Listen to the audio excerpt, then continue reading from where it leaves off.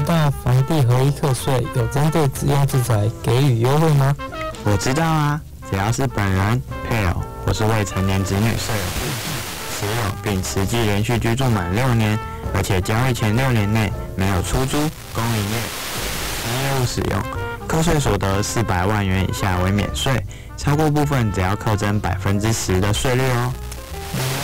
不论买卖为利得或损失，都要在所有权移转登记日隔天或房屋使用权交易日隔天起，算三十天内办理申报，以免被罚。若有疑问，可拨打国税局免费服务电话零八零零零零零三二一洽询。以上是南区国税局新化基征所广告。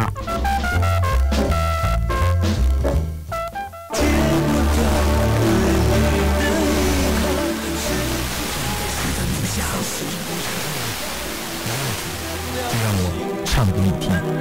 我是哈林庾澄庆，这里是长隆之声 Star Radio FM 八八点三。